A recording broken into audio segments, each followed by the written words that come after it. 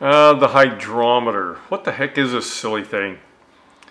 Okay, uh, it's something for comparing the density of liquids to the density of water.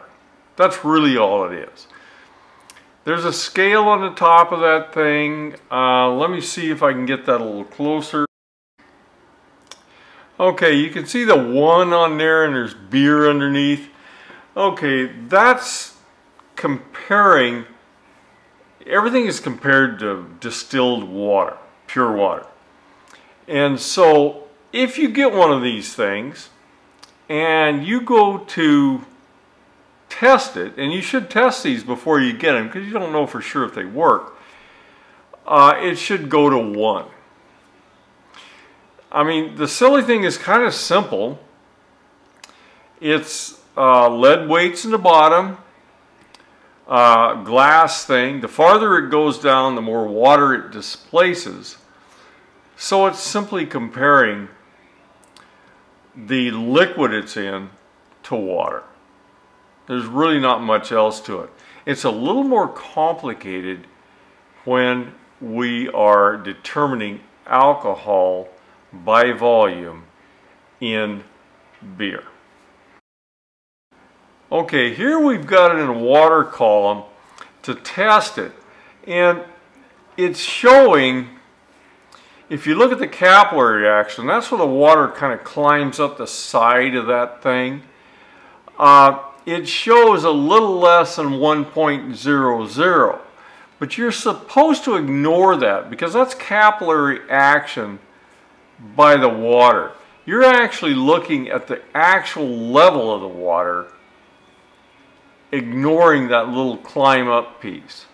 So when you test this, it should come to 1.00 without the capillary action. And this one does. So it's pretty much right on the money. So how do we use this thing to determine alcohol by volume in beer? Well, it's a little more complicated. When you start mixing sugar in water and all the rest of the hops and all those sort of things that you have in your wort boil, it's going to come up with a number that is higher than at 1.0 because there's a lot of things in it.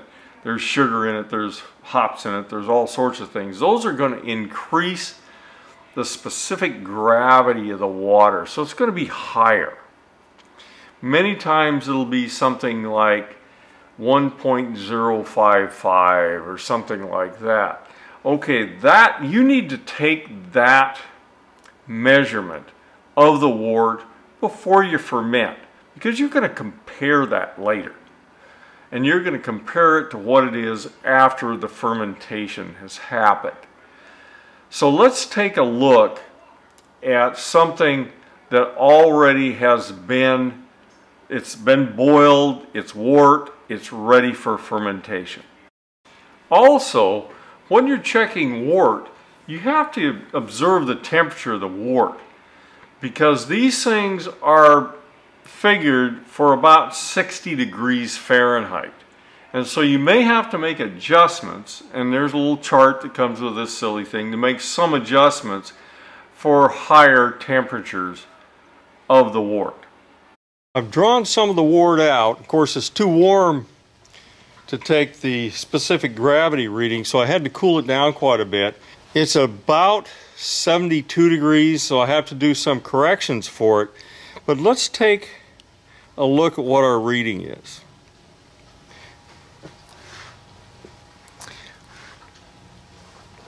Now, if we notice that, we look at, it says uh,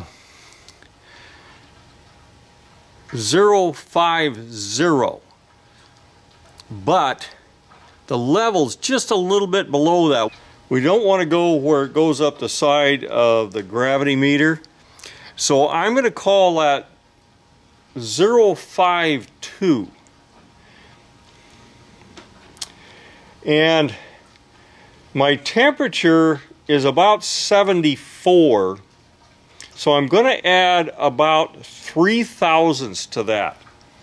So 3 thousandths plus the 052 is 055.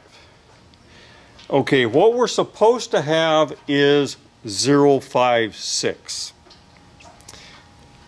So I'm calling this good. Now remember, this is a pre-boil specific gravity. Now you may be wondering where I got the, the temperature adjustment.